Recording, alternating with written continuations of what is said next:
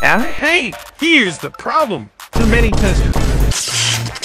You know what they say. All toasters. Toast, toast. Skip it up and da